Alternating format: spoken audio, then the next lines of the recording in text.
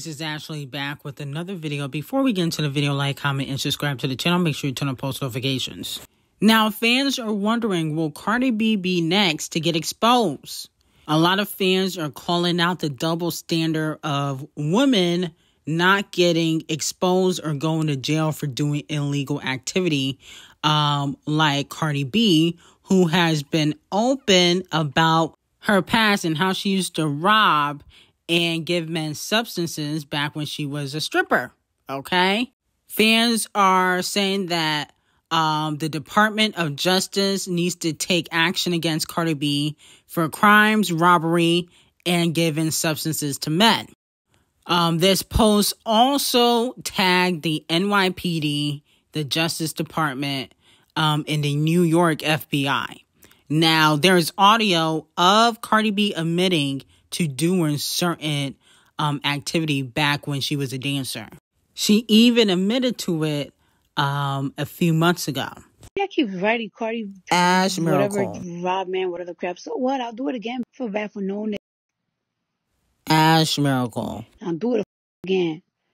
Yeah, yeah, yeah, let's go to the Ass hotel. miracle. And I drug niggas up and I robbed them. That's what I used to Ass do. miracle. Nothing was motherfucking handed to me, my nothing. Nothing. Now the evidence is out there. I just played it for you. And so um fans are saying on social media now this post got like 3.9 million views. They said would a black woman be afforded the same leniency if she admitted to the same action? Why does Cardi B seem above the law? She's no different from Robert Kelly, Puff Daddy, Cosby, Ross, and Weinstein. How is Cardi B still allowed to be played on a radio station, feature on TV shows, perform live at venues across America? Well, she's definitely not doing that. She's not performing at no venues and retain her endorsement deals and contracts. Well, I'm gonna tell you how. Um, because Cardi B doesn't have any victims that are coming out. Okay. See, Cardi B, whether she paid them off behind the scenes, which I don't think she has done, um, because she don't have enough money for that. She doesn't have any recent victims that are coming out saying she did X, Y, and Z. You need evidence for the FBI to go after anyone. And there's probably not enough evidence for, you know, the FBI or anybody in the criminal justice department to go after Cardi B as of right now. Now, moving on from that, Cardi B is calling out off the cheat.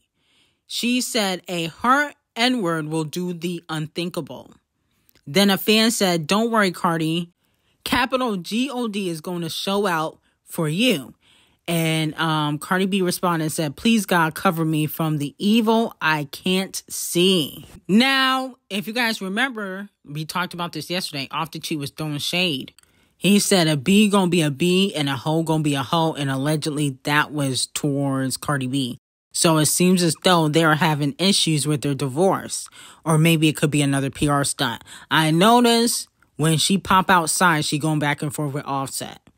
Okay, it could be another PR stunt for Cardi B too. Now, Cardi B also popped out for Paris Fashion Week looking a mess. I was like, did Shakira get terrible Botox done to her face? And no, it was Cardi B. Now, she said she was channeling her inner Shakira, but she really was channeling her inner Jocelyn Wildenstein. Okay? Um, that's her twin. She looked a mess. I'm sorry. This was a terrible look. Um, it definitely was not hidden. I thought this was a Halloween costume. I was like, Halloween's coming early for Cardi B. But yeah, she looked a mess. This is one of her worst looks of the year. You know, this kind of reminds me of her Met Gala look, where she was dressed up like the Addams family. Okay, she looked a mess. And then on top of that, she did another look and it wasn't too great either. I was like, her stylist must be beefing with her secretly. She came out looking like a Christmas tree, um, decorations on the side of her ears. I was like, who's she supposed to be? The Grinch that stole the Botox? She looked a mess. The makeup wasn't good either. Okay, she looked a little bit pasty. I don't know. I feel like her looks don't be hit. She used to be one of the best dressed female rappers in the game, and she is no longer that. She's no longer that. I'm sorry. Now, moving on from that, Doja Cat receives praise as being one of the GOATs. My GOAT rappers Biggie Tupac, Jay Z, Eminem, Tyler the Creator, Lauryn Hill. I'm going to throw Doja Cat in there. Sexyy Red, Snoop Dogg, Kendrick. Hold on, wait. Did you say Doja Cat? Yeah, Doja Cat. All right, I was just making sure I heard that. Right. Now, I love Doja Cat, but she's definitely not a GOAT yet. She could be a GOAT in the future. She definitely is the princess of rap, but she's not the GOAT just yet. Okay, she got a few more years in the game that she needs to do for her to be the GOAT. And then Sexyy Red, ASAP Ferg, are you smoking crack? How is Sexyy Red a GOAT? Okay, you just mentioned Biggie, Tupac, and Camel Toe. You talking about Sexyy Red? That don't even make no sense. And then you trying to put Sexyy Red and Doja Cat in the same umbrella as Lauryn Hill? Are you on that stuff? I'm sorry, ASAP. You might have to get Donkey of the Day. ASAP Ferg is getting Donkey of the Day. I'm sorry. That didn't make sense to me. Um, you know, I'm shocked he didn't mention Little Kim or Nicki. Nicki gave you one of the best verses for your catalog. Okay, Plain Jane remix. That's all I play from you. That's the only song I play from ASAP Ferg is the Plain Jane remix. And then also uh, Move My Hips. Those are the only two songs. Everything else is a chop. Sorry. I can't believe Nicki gave you two amazing verses and you do her like that. That was weird. Now, Cardi B seemingly goes off on Off the Cheat. They could f- anything. But when I, when I start talking to you want to play those games with me? We're going to play them games too. We're to play them games too. Since you want to threat me, take, talking about you want to take my shit. You want to take my shit because I'm moving on? Move on. Move on. Why can't you move on? Why can't you move on? It's no fun when, when, when mama got the right. It's no fun when I'm slanging put right. Hmm.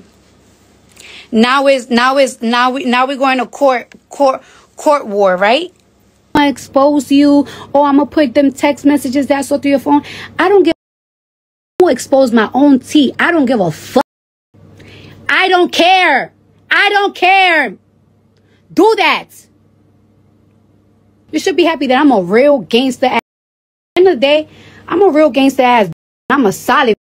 So one thing I'm not gonna do to you ever is entertaining them your ops that be in my DMs trying to suck my I will never do that because the op to you is I want you dead. And I don't want you dead because my kids love out of you, out of you. My kids love you down. So I will never do that. And I really follow gangster. I really follow street codes. I just gotta that's better than you. Now, didn't Bia earlier this year expose Cardi B for cheating on Off the Cheat? Because that's what Cardi B just admitted to that she's been cheating on Off the Cheat while she was pregnant. And in my video yesterday, didn't I say that I do believe Cardi B has cheated? She just hasn't gotten caught. I said that in my video yesterday. And then, um, you know, Bia also alluded to Cardi B cheating, and Cardi B denied it. Put it on your gang and thing. What? Put it on your name since you so gangster like your fuck. Put it on your hubby since you love lying on your vows. Wow. This proves that Cardi B lied to people for months and Bia was right. Maybe Off the Cheat should get a DNA test because if she was sleeping around while she was pregnant, you know, that could mean possibly he not the father of the third child. No shade. Off the Cheat accused her of effing someone while she was pregnant, and she responded and said that she did it. So I think it would only be smart if Off the Cheat get a DNA test because if she was sleeping with somebody while she was pregnant, ain't no telling what she was doing before she got pregnant. Who's to say if Off the Cheat is really the father? You know, she is a stripper. She has a reputation of being a hoe. You really can't trust Cardi B. And she is a lying Libra, just like SZA. So if I was him, I would get a DNA test just to be safe because at the end of the day, Cardi B cannot be trusted. Now, Queen B and Camel Toe have been vindicated. So it has been reported um, by Devil Nation and in the 14 page indictment against Diddy that Queen B and Camel have not been named in the 14 page indictment against Diddy. The one detailed his freak off parties that involved a thousand bottles of baby oil, and not to mention the abuse that took place. So, you know, this is what's circulating around um, the internet that Queen B and Camel Face have been vindicated because they have not been named as one of Diddy's accomplices at his freak offs, okay? Um, the only thing Diddy still may snitch on them. You never know. To get less time in jail, he might start snitching and saying, listen, I got a long list of people who were around doing the freak offs, doing certain drugs, doing this and that, and you can start snitching. But all I know is Queen B is innocent. Camel Face is not, but Queen B is innocent. I don't believe Queen B has participated in any of this buffoonery um, willingly. I think she is a victim. Um, Camel Face took advantage of her innocence and the fact that she was young. You know, there is like a 13, 14 age difference between them, and Queen B should be vindicated and get full immunity, okay? Her husband, I don't think so. Now, it also has been reported that Katy Perry announced the Lifetimes tour kicking off in 2025. Their first round of dates um, are going to be in Australia. I mean, who asked for this? How you flop and go on tour afterwards? Well, the female rappers are doing it. You know, the label got to recoup some money, you know, because they definitely didn't make what they put in this um album or era, okay? That music video, the um Wonder World or Wonder Bread music video whatever she put out, that cost millions to make, okay? And you know, no shade, she hasn't had a hot single since probably what 2016 2015 so i do believe that um katy probably is in the red okay yes yeah, she got a lot of diamond hits but those are from like five to ten years ago. We talking about what she doing now. Okay. Um, right now she flopping. And so I don't understand why she would need to go on tour, but she probably do owe the label some money. So this is their way of recouping the money. Um, let me know if you guys are gonna go see Katy Perry on tour. I'm gonna pass on this. Um, definitely not going to see Katy Cat. Um, why would I go see a flop? I mean, no shade. I mean, what am I to sing on a Katy Perry tour? Of course, she got past hits, but you know, what new music is she to perform that is a bop? Okay. There's really not much. Now, Katy Perry also said in a recent interview that the former queen of pop, Madonna, is the greatest. She said she paved the way. She said, every person, when you talk about me reaching out to younger artists, every female still needs to continue to say thank you to her because she's breaking down barriers. Okay. Now, of course, Azalea Stinks had to put in her two cents because, you know, she don't got no job. That's why she owe money and got to pay her rent, you know, because she has allegedly been um evicted several times. She said Grace Jones, Kim, Queen B, Whitney Houston, Chaka Khan, Teena Marie, Celine, Missy, Tony, um, Spice, Eve, um, and she talked about Spice from Jamaica. Uh, Janet, O, Madonna, nothing. Okay.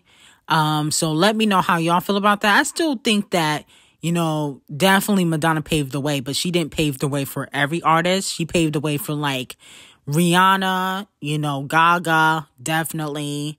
Um, Chappell Roan, but she definitely did not pave the way for every artist, okay? But she definitely has impact, especially in pop culture. Now, moving on from that, Steve Lacy says he wants a Kung Fu Kenny collaboration to be featured on his upcoming new album. He said, I'd be lying if I said I didn't want a Kung Fu Kenny verse. We don't need a Kung Fu Kenny and Steve Lacy song. Who asked for this? I mean, now everybody want to work with Kung Fu Kenny because he hot. Um, allegedly, they already worked together with the song Pride, okay, which was on the damn album. But Steve Lacy, I can't really get into him like that. No shade. Steve Lacy is kind of corny to me, in my opinion. Like, I don't know, I can't explain it, but I don't really get into his music. I can definitely pass on the collaboration. If anything, um, maybe you can write some hooks for Kung Fu Kenny. You can write some hooks, you know, background vocals, but we don't need a Kung Fu Kenny collaboration with you. Kung Fu Kenny needs to do another song with The Weeknd. Him and Rihanna need to do something together because loyalty is a bop. So we got to have Riri on something. And I also wouldn't mind him and J. Cole. Okay, because J. Cole apologized for dissing Kung Fu Kenny. So maybe they can do something together. Now, if you're asking, what about Kung Fu Kenny and Nicki? If Nicki didn't speak out about the um, Super Bowl situation, possibly, but I think her speaking out against the Super Bowl, her dissing Camel Toe, I don't know if he still would give her a collaboration because I was told that Camel Toe told Queen Bee, Kung Fu Kenny, and Rihanna to stay away from Nicki Minaj because she's bad for business. That's what Camel Face is telling people behind the scenes to not have them work with Nicki Minaj and Kung Fu Kenny and Camel Face are very close because they got the same enemy and the em- enemy is Champagne Thickums. So I don't know if he still would ever work with Nicki Minaj, but I would be here for Doja and Kung Fu Kenny. She stole his flow anyway um, during the Scarlet era. She might as well work with Kung Fu Kenny if you're to steal his flow. Now, moving on from that, Diddy's children have put out a statement. Now, Quincy, um, I think the two twins and King Combs have put out a statement. They said, We have seen so many hurtful and false rumors circulating about our parents, Kim Porter and Sean Combs' relationship, as well as about our mom's tragic passing, that we feel the need to speak out. Claims that our mom wrote a book are simply untrue. Well, she did write a book, it just never got published. Maybe y'all don't know that T, but the T is on Patreon. But anyway, that's neither here or there. Um, they said the claims that our mom wrote a book are simply untrue. She did not, and anyone claiming to have a manuscript is misrepresenting themselves. Additionally, please understand that any so called friend speaking on behalf of our mom or her family is not a friend, nor do they have her best interests at heart. Our lives were shattered when we lost our mother, and she was our world, and nothing has been the same since she passed. Well, it has been incredibly difficult to reconcile how she could have been taken from us too soon the cause of her death has long been established. There was no foul play. Grief is a lifelong process, and we ask that everyone respect our requests for peace as we continue to cope with the loss every day. We are deeply saddened that the world has made a spectacle of what has been the most tragic event of our lives.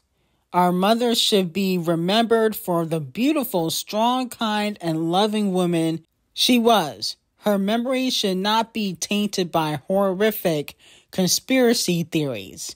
We ask that everyone please respect our mother, Kim Porter, and hold her legacy in high regard so that she may rest in peace and it is what she deserves. We love you and miss you, mommy. Okay, so that's what the Combs children have put out. Now, um, yes, she does not have a published book out. You know, the person selling that fake book about Kim, you know, is a fraud. Okay, but she did write a book, but it's never been published. And I think, no shade, Diddy told him to put this statement out, or Diddy's lawyer and probably Diddy's mom told him to put this statement out so that the case won't get reopened. Okay? Because a lot of people were saying that Kim's passing needs to be investigated. And so by them putting that out, that means they don't want her death to be investigated. Okay, which would be helpful for Diddy because if that gets investigated, he definitely going down. So, with that being said, this was a strategic move by Diddy's team. Congratulations. Only if they knew the truth. But that's neither here or there. The person that's putting out those fake books and try and publishing them and people are buying them, you know, they could sue him because why is a friend putting out a book of Kim? That's wrong. They should sue that person.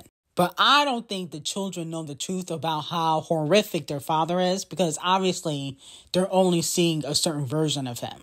So you can't even fault them. Okay, they're only seeing one version of him. But if they do an investigation, ain't gonna be good for that man that's in the clink already. And I'm gonna leave it at that. But anyway, you know, rest in peace, Kim. And hopefully, you know, these children get some healing.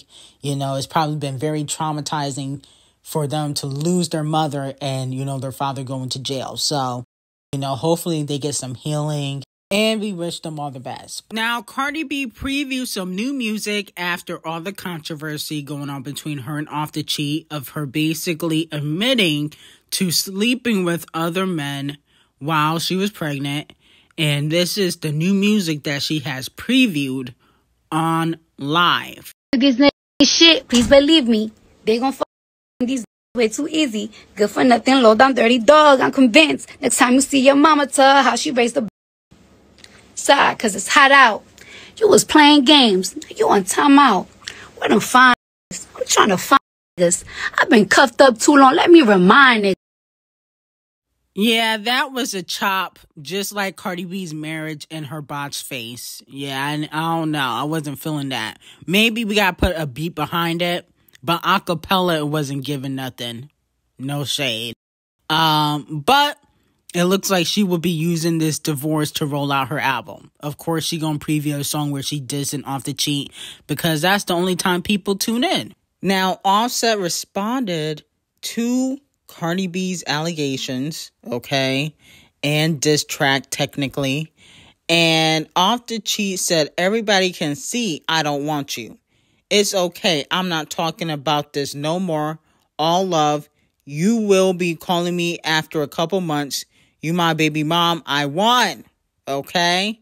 Um, botching pregnant, I mean botching bitter, um, responded and showed some text messages that really didn't prove much. Um, she said, Everybody can see that I don't want you. Face as boy, please. Okay. The text messages says, You don't want me. That is off the cheat. She says, Not really. He says, Okay, you want somebody else? She said, Off the off the cheat and please. He says, Okay, I'll leave you alone. She said, please and have a good night. Then he says, I just want to know, can I jack off with you on the phone? Okay, so that's what he has said yesterday. But my whole thing, that didn't really prove him saying that he wants you though. Okay? Um, him asking you about if you want him has nothing to do about how he feels. Uh, you know, one thing about Cardi B, she never really gives out receipts. She'll like post things that you she thinks that people are dumb and people think are receipts and these really aren't receipts. Like, girl, where was, is the text message where he says he wants you? I didn't see that. If that man wanted you so badly, why is he always cheating? That don't make sense to me. Then here goes Jade Oh my goodness. Jade, don't be messy now. She decided to go on Instagram and say, God is good after all this drama that happened. Okay. Now, if you don't know who Jade is, Jade was the girl that got the bottles knocked upside her head for sleeping with off the cheat. You know, Cardi B hired two men to throw bottles at Jade, and I think it was her sister or cousin or best friend, whatever. and you know they ended up in the hospital. They um you know press charges against Cardi B. Cardi B only got two weeks of community service, so that was a chop. She didn't really get in trouble. Now moving on from that, um, Scratch Off um gets an opportunity of a lifetime. Derek did this song, right?